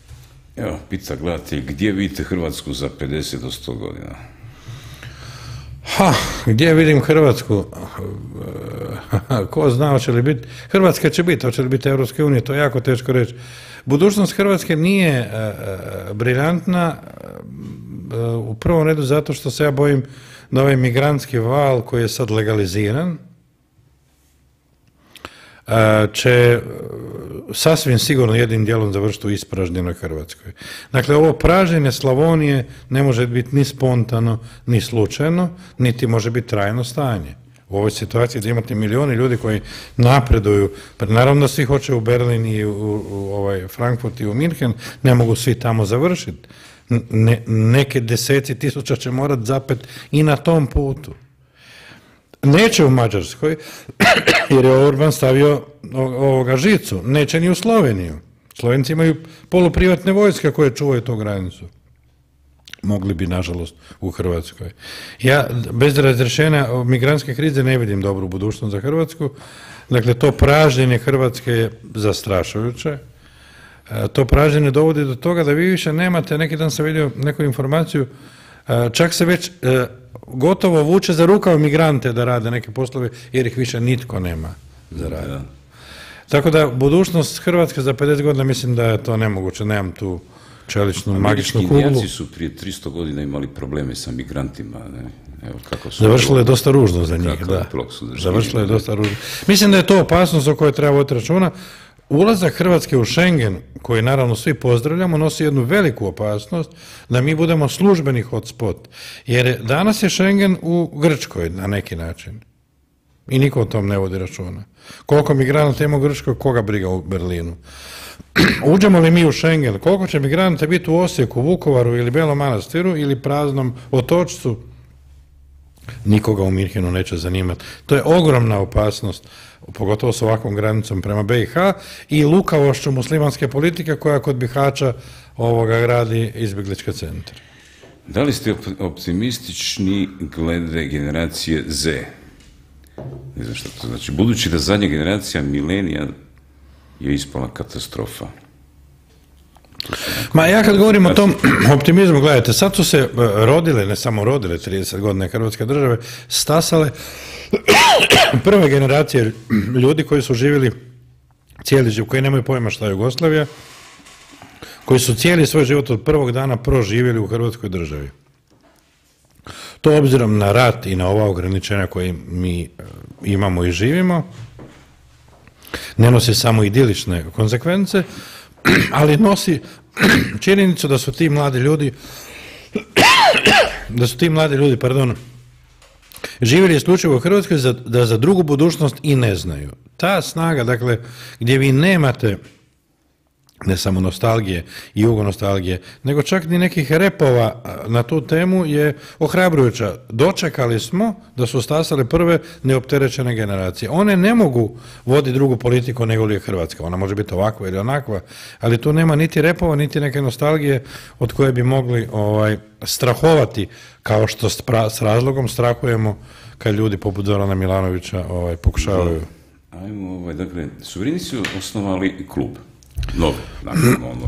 da, da, u Saboru. U stvari da, imali su nešto, ali evo sad je dakle Hrvoje Zekanović, Željko Glasnović i, i ovaj, uh, Zlatko Hasanbegović, navodno i Bruna Esihti imala ambiciju da ostane s njima zajedno, a oni navodno nju nisu htjeli, barem prema riječi mm da esihne. Što, da, pretpostavljam si pratio ovaj, taj, tu, taj to neki razlaz Zlatka Hasanbegovića i Brunezi. Što je po tvojem mišljenju uzroka eto, takvog jednog debakla te pa, obučavajuće političke opcije? Da, ja mi, prvo ja nemam dakle, potpune informacije i ono, ono, ono što ću reći je e, ipak uvjetovano nekim, nekim ne, ovaj, nepotpunim pogledom i uvidom u cijelu situaciju, nemam ni neke ekskluzivne informacije, ali ono koliko sam pratio cijelu priču, mislim da je tu pojednostavljeno govoreći Zlatko Hasanbegović u pravu. Naime, Bruna Esih je prvo, Zlatko Hasanbegović je e, ne samo brand te stranke, nego Zlatko Hasanbegović je bio mozak te stranke. Uvijek se govorilo o Hasanbegovićevom pogledu, izjavi, nastupu i tako dalje. Bruna Esih je tu ipak bila back vokal. Ne govorim to sarkastično. Prema tome, e, Hasanbegović je bio u prvom planu i nosio je na leđima svu tu priču koja nije bila uvijek njegova priča, jer je ona bila predsjednica. E, obzirom da oni nisu išli zajedno sa, sa suverenistima na europskim izborima, sad tu je stotinu varijanti kako, zašto i gdje, e, Hasanbegović je odlučio, odnosno predložio da se kandidira za predsjednika, na kraju krajeva sve na njegovim leđima. Cijela priča stranačka, je- cijeli brend je na njemu i on odgovara za sve i pozitivno i negativno. Sve se pita zapravo od njega. On je glavni ideolog stranke. Bruna je reagirala kako je reagirala, došlo je do dva nisu bila dva sabora jer, jer su Hasanbegović ovi digli ruku, digli ručnu, ali došlo je zapravo do jednog strašnog razmimoilaženja između njih i zapravo jedne otvorene izdaje u kojoj je Bruno Esih bila na jednoj strani, Hasanbegović na drugoj. I on povrijeđen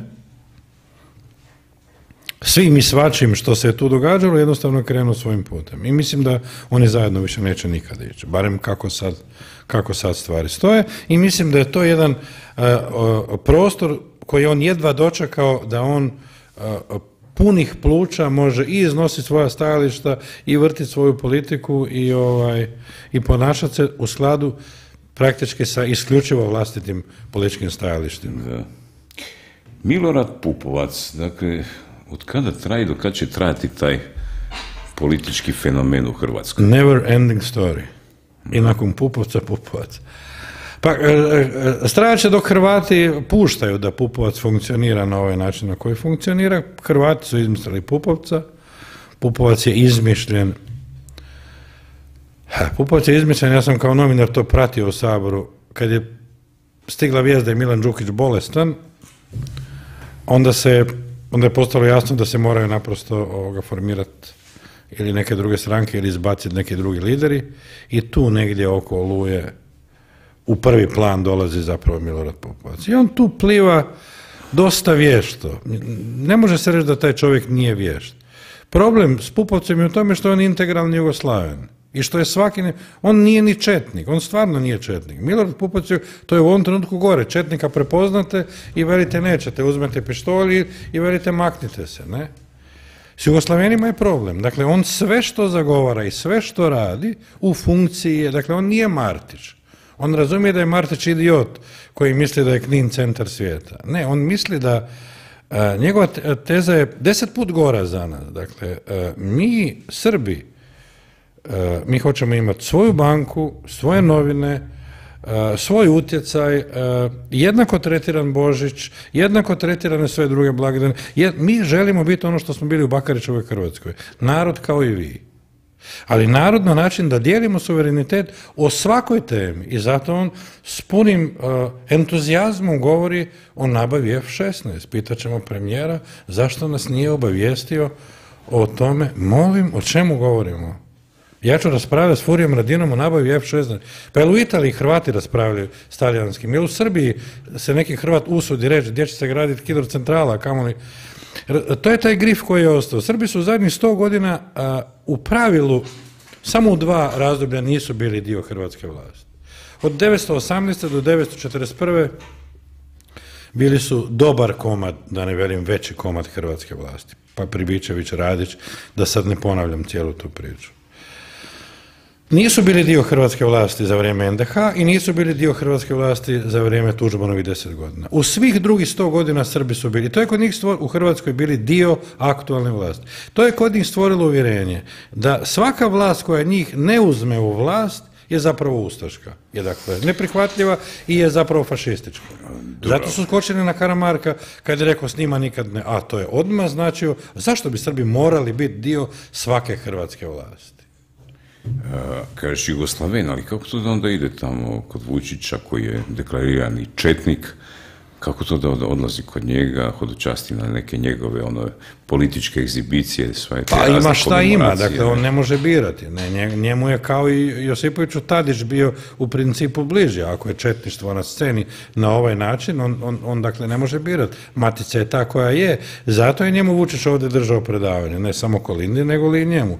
Poka, pokazavši sa onim "E, Milorade, nisam ti rekao da ne glasaš za zakon o braniteljima, da je zapravo on taj koji njemu kaže ovo, za ovo ćeš glasati, za ovo ne, da ga prizemni, da ga pokaže onakvim kakvim on je, on je zapravo ništa drugo nego li teklić Vučića i, i, i beogradske politike. Tu Pupovac ne može birat. On ako može birat, gura jugoslavensku priču. Ali ako je ona četnička, on će prihvatiti, naravno, Pa jer je je... to neko ponavljanje povijesti u Hrvatskoj? Ne? Ponavljanje je povijesti zato jer mi naprosto smo dopustili da se ta povijest ponavlja. Svetozar Pribičević, Jugoslavenski odbor u Mislim, Hrvatskoj. prvi put kad je Vulin ušao u Hrvatsku, izvrijeđao Hrvatsku, trebalo mu je zabraniti ulazak ovoga u Hrvatsku. Kosovo je zabranilo ulazak Ceci Ražnjatović na Kosovo, zato što je svojim izjavama ovima i onima podupire zločine koje je radio njezin suprug. Zabranjeni koncerti i zabranjen ulazak, gotova priča. Mi, ovdje ne mož- mi se ovdje ne usudimo Vulinu zabraniti ulazak u Hrvatsku. I naravno da to onda stvara e, ovoga, e, cijelu tu priču, naravno da oni bujaju i naravno da se šire ako ih mi ne, ne zaustavljamo. Evo još par pitanja naših gledatelja. Dakle, kako komentirate Škoru kao desničara u kampanji drži? I sad je zanimljivo Mato Mića koji kaže da na N1 kako se hrvatski narod treba pomiriti s povješću i otići pokloniti žrtvama Jasenovca. Ne? Šta više, li um, ti stavovi Škore oko, oko Jasenovca i drugog svjetskog rata su bili u bujici, ono što je prije tri tjedna onako izazvali su malo neke, neke upitnike u glavi, kako ti to Pa zvaš? tu se vidjelo da, da je oni napadi na Škoru, koji su u prvom redu kretali od Plenkovića, ali ne samo njega, e, lako je priopćenjima e, reagirati. Sjednite s učilice Juriću dva sata, pa ćemo vidjeti šta imate za reći. Dakle, oni su već tu očitavali da je on u, u, u nekim ovoga, to, to se da kako svima događa, onima koji imaju manje iskustva, naravno još i više, da će biti tanak, da tako kažem. I uvijek se priča vrti oko NDH, oko Jasenovca, oko ovog, oko onog. Ja mislim da je tu teza koja je davnih dana ovoga e, u Hrvatskoj razvijana i stavljena na stol, kasnije je ponavljala Kolinda, jedno vrijeme i Hebrang, a i prije toga niz političara. Je- o- Jasenovac bi trebalo uistinu temeljito istražiti. Ta ideja da se napravi međunarodna komisija koja će doći u Jasenovac, biti tamo mjesec, dva, tri, pet ili šest i meritorno nakon šest mjeseci reći ljudi, tu se dogodilo to i to, danas vi tamo možete, danas možete istražiti, danas znate a, koliko je kila imao mamut pred pet milijuna godina? ne bi bilo umjesto, dakle, kad se predlaže neka međunarodna komisija, to je onako dosta imaginarno, sad ko, znaš, ono. Zar ne bi bilo puno politički e, pragmatičnije, ali i korisnije da se, recimo, pozove srpsku vladu da oni pošalju neke svoje stručnjake i da se formira srpsko-hrvatska komisija zajednička i koja će zajednički financirati to i da dođu jedni i drugi i da počnu kopati i na kraju da, da se dođe do konačne istine. Nikad, Znači, se, ne, mi, ne, ne, jer pazi, nikad se mi bez Badintera Ne, ne, ne, bi dogovorili znaš, kako se stvar? Posrednik vam je nužan. oni sigurno e, sumnjam da bi pristali na tako nešto. naravno, ne? da. Znaš, E, ali, dakle, ne pristajanje na tako nešto, već dovodi u pitanje vjerodostojnost onda njihovog To je stava. istina, dobro, to je istina. To bi trebalo biti mudar u tom taktiziranju, ali ta priča se jedanput, dakle, cijela ta priča drugog svjetskog rata po meni, e, samo mi čekamo vlast koja će imati petlje to napraviti.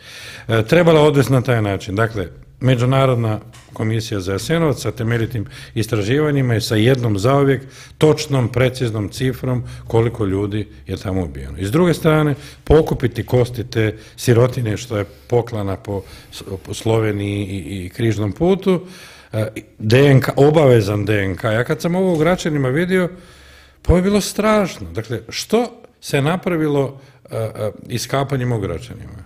Ništa. Da ste vi napravili DNK analizu koju je Hebrang predlagao u onom uredu koji je on vodio, vi biste znali ko leži tamo.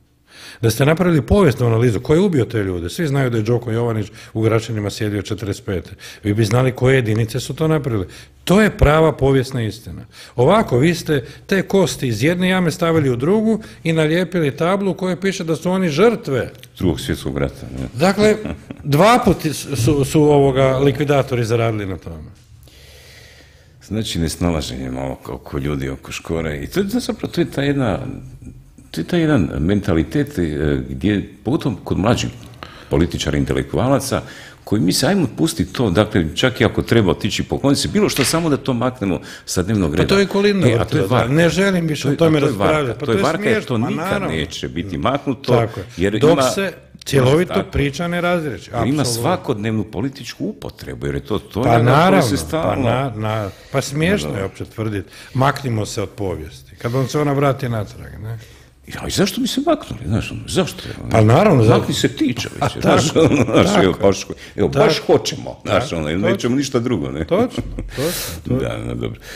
Smatrate li da će se EU ikada raspasti ili će nastati neki vid Europske konfederacije? Evo, ovo baš i ko, koincidira s jednim pitanjem koje smo... Pa ja mislim da je, da, da, ja mislim da smo mi pred strašno velikim izazovima i ja mislim da ovaj Brexit e, uvod u tešku nestabilnost Europske unije. Ja sad neću ložiti vatru bez potrebe, ali mi se čini da je Britanija razabrala da u prvom redu u gospodarskom smislu Europska unija je Njemačka, odnosno velika Njemačka.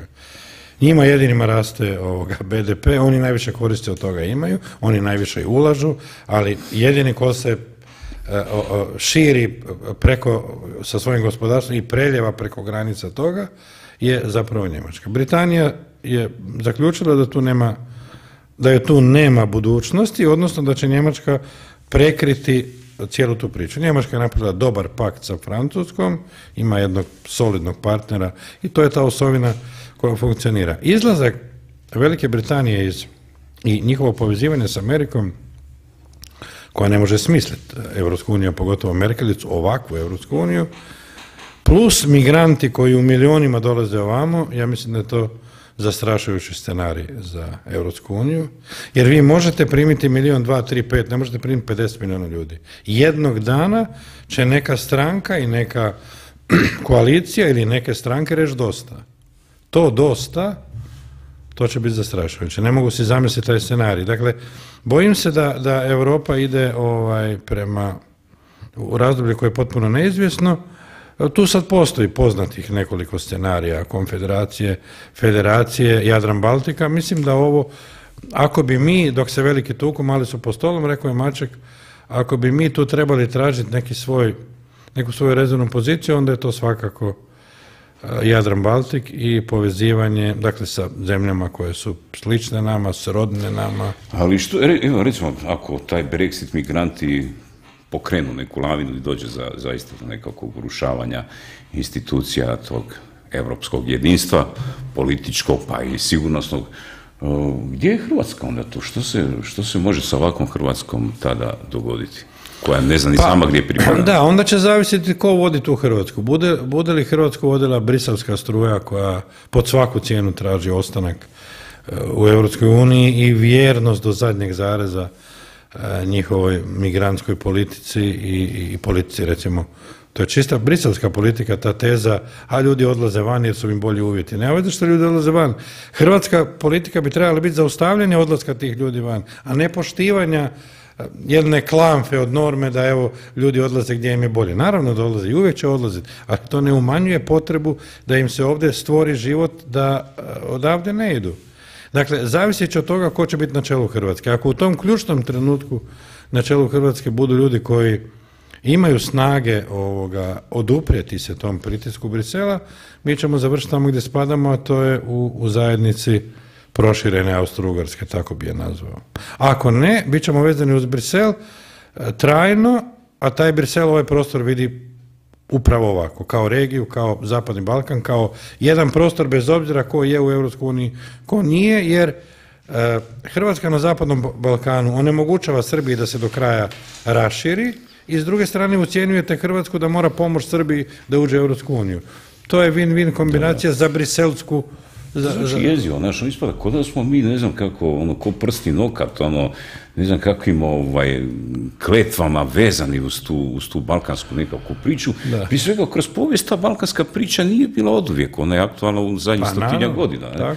Znaš, ali danas sam baš, evo, idem kroz grad, vidim reklamu za ABA ligu, znaš, i sad vidim tamo, Evo, ono, to su ovi moji Zvezda, ono, znaš, ono, to, to je jezivo, znaš, ono, zašto, kako, tko su ti, otkud pravo svima tima koji to na taj način ovaj, nameću, da nam to gura. Znaš, evo, pita gledatelj ko- ko- koji, su, ovaj, ka- koji su Plenković motivi da, da toliko tolerira Pupovca da ga gura, ne?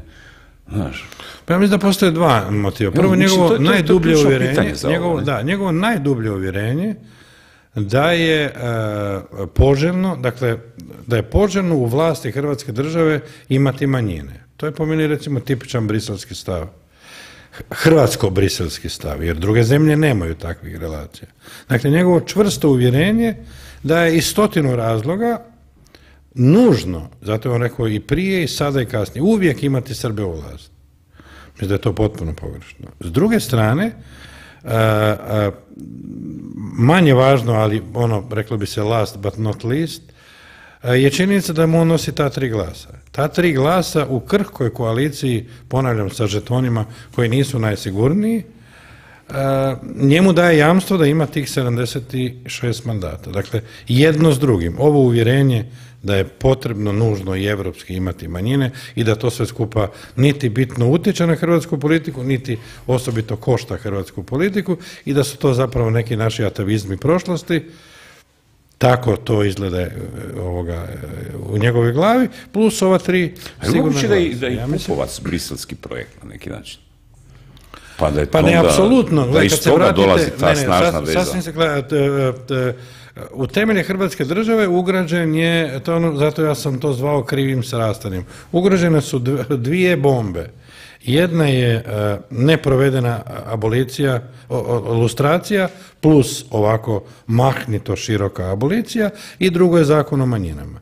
Dakle, one sekunde kad ste vi, e, kad niste proveli ilustraciju i kad ste uveli ovako široku aboliciju, vi ste napravili ovo što sad imate s jedne strane. I s druge strane, kad ste donijeli zakon ovoga, o, o pravima manjina, a onda ga preveli u ustavni zakon, vi ste zapravo Pupovcu dali u ruku jedan dokument u kojem ako ne izlaze srpske novosti, on ode u Brisel tuži vas. Jer ste vi potpisali da on ima pravo na, sad vi razgovaramo kakav je, potpisali ste da ćete mu dignuti spomenik u, u Srbu. Sve ste to potpisali 92. 3. i 4.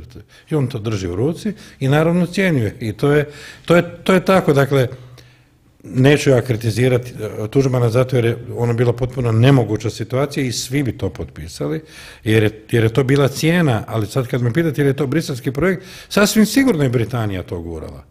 Dakle, ovo stavite i ovo tražite. Morate to dobiti. To će sutra biti carte blanche za vođenje svake politike. On se pojavi s time i veli, čujte, jeste potpisali? Jeste potpisali dvojezičnost u Istri? Je, sad, o čemu? Oni igraju u prilike u, u, tom kontekstu i sad da nema problema sa njihovim sponzorima izvana, da nema bočne udare ljudi koji i država koji ga podržavaju, Plenković ga uzme sa sobom i tako neutralizira te udare, ali zato plaća ovu cijenu, odnosno mi plaćamo ovu cijenu da. ovakvu kako je. Ne? Za kraj, ovaj, pročitat ću ti jedno pitanje, pitanje na koje ja zapravo ne znam što bi odgovorio. Ne? Kaže, gledatelj, u Sisku tijekom rata granatiranja i zbjegovi i živjelo se bolje. Danas tamo nema ničega osim Četnika, Arkmana, gradonačelnice i raspadujućeg i raspadajućeg grada. Kako to promijeniti? A ovo je Hrvatska stvarnost u jednom značajnom dijelu. Ma ne, ne samo u Sisku, da Hrvatska danas izgleda toliko tužno, toliko besperspektivno. To je ono što je najgore. Vi s ljudima kad razgovarate, vi vidite da tu više nema nikakve perspektive. I to, to je, jedan mi je političar rekao, znaš, došli smo do faze da me više niko ne zove, ne vuče za rukav. Jedem po gradu, više me niko ni ne pita, čuj, možeš mi zaposliti bratića, sestrišnu. Dakle, to je kraj, to je zadnja crta. Hrvatska a, a, žeđa za jednom vlašću, za jednom, koja će cijelu tu priču promijeniti, mislim da se ona može promijeniti, za jednom novom galerijom likova koji će znati što s ovim gospodarstvom, za nekim ko će imati snage krenuti onim putem s kojim je, recimo, kao ilustraciju, Tolušić krenuo kad se radilo o poljoprivredi, uvozu poljoprivrednih proizvoda iz Srbije, Makedonije, Grčke i tako dalje, bez adekvatnih poreza ovoga i onoga. Neko ko će stati i reći sad je dosta. Sad je dosta, sad idemo spasiti u Slavoniju, idemo od, od, mjesta do mjesta, od sela do sela, imate Orbana, imate ovoga, imate, imate primjere, imate u Poljskoj, milion Poljaka se vratilo, postoji model, nije istina da ne postoji model. Ali mi ipak optimistič, sa optimizmom završiti upravo sa, sa, sa onim kako smo započeli u početnom dijelu, dakle kako tvoja knjiga završava. Ne? Dakle, ovo su Znaš, kako, kako, jel osjetiš tu promjenu raspoloženja? Kako ne? Kako znaš, dakle, prvi 15 minuta smo od njoj pogodno prisjetili, znaš, i kako ide, dakle, ono, analiziranje Mislim, pojedinih njima će to ostati. Ja, ja ću biti iskren, to je bitka koju smo mi kao generacija izgubili. Stvaranje moderne Hrvatske pada na leđa tim mladim generacijama. Nismo probleme niti iz prošlosti riješili i to im prebacujemo i oni će o Blajburgu, Jasenovcu i svemu tome. Dakle, u ovih 30 godina ove su generacije napravile epohalne promjene za Boga stvorili su u Hrvatsku državu, ali unutar toga ostavili smo pet kofera problema mladima da se s njima muče, mi nismo našli snage kako to riješiti. Vidjet ćemo što će oni napraviti. Kad, ponovi još jednom, kad je predstava? E, u četvrtak je e, premijera 26. E, rujna, igramo nakon toga 5. listopada, 11. listopada i 29. listopada. Dakle, Stari park Trešnjevka, Centar za kulturu Trešnjevka, koji je bio na predstavi Zvonku Bušiću, a tamo smo igrali 11 predstava.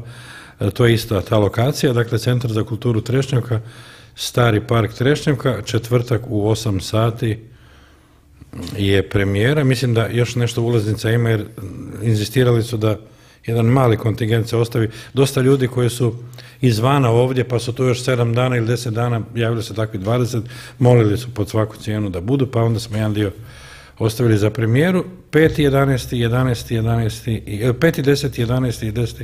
i 29. i 10. igramo tu. Imamo Split dogovoren, imamo dogovorena Kaštela i Osijek i... Koja Kaštela? Uh, Lukšić. Lukšić. Tako da, evo, to su, to su za početak su to neki dog. Mislim da ćemo igrati i u Zaprašiću. Evo, malo pomalo krenut ćemo na turneju. Tihomire, hvala ti lijepo na gostovanje. Hvala tebi na pozivu. Evo, dragi prijatelji, to je bilo sve za danas. E, evo, bez obzira na, na ove neke naše e, depresivne aktualnosti, nemojte biti e, rezignirani, razočarani, jer ipak to tako neće biti. Kako, zašto, nemam pojma, zapravo znamo, ne smijem reći, ovaj, pa stoga možda za, kao prvi korak, evo, kasno je, uskoro ćemo u postelju krenuti, pa evo, mogu poručiti samo on, ono, dakle, ako će nas biti, onda ima i nade, a sigurno će se stvari preokrenuti. Dakle, za početak samo plodite se i množite se. Kako bilo, vidimo se ponovo za 48 sati.